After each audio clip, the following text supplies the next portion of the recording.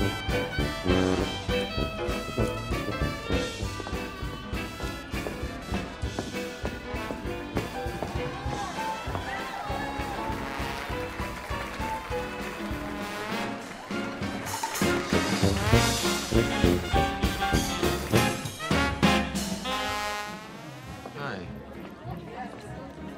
So how'd it go at the bank? This good? Want a glass for that? No, no, I am way beyond the glass. Tess, I gotta talk to you. Honey, not right now. Marcus is gonna tear down the club and build a skyscraper. And how do you know this? I saw the model. I didn't know that you and Marcus were that close. We're not that close. I, I rushed over here so I could tell you. Don't you think you're spreading yourself a little bit thin? Jack, Marcus, whoever.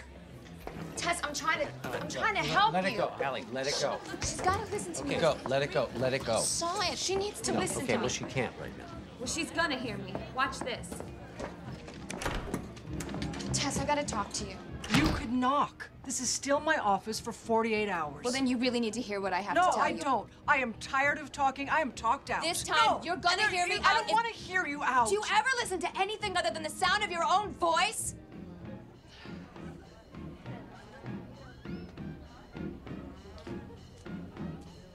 Talk? Have you ever heard of air rights? No, I've never heard of air rights. What are air rights?